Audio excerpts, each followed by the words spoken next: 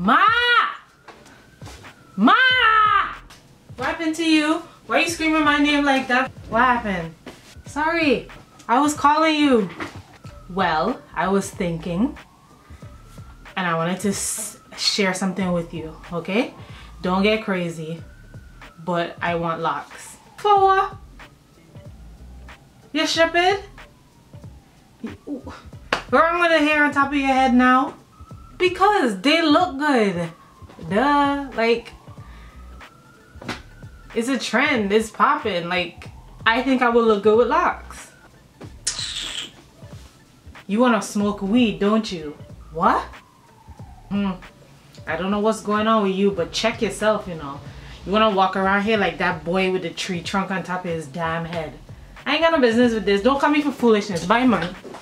Wait now.